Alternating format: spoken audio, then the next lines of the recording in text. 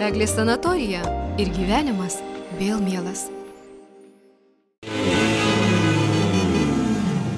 Naujoje autofanų laidoje apie pirmą tarptautinį mėgėjų ralį šalies automobilių sporto istorijoje. Lastorės antrojo etapo ralio Litų suvalkai Laurus išplėšė svečiai. Na, o mūsiškiams beliko du klausimai. Norint laimėti, maliuką pirkti ar titaninės apsaugas į standartus montuoti. Apie ką mes sužinosite laidoje.